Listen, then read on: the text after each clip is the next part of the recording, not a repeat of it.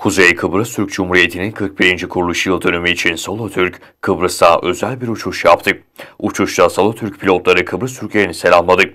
Uçuş Milli Savunma Bakanlığı'nın sosyal medya hesabından paylaşıldı. Milli Savunma Bakanlığı'nın paylaşımda ise şu ifadelere yer verildi. Kuzey Kıbrıs Türk Cumhuriyeti'nin 41. kuruluş yıl dönümünde Solo Türk nefes kesen gösteri uçuşu yaparak Kıbrıs Türk'ü kardeşlerimizi selamladık.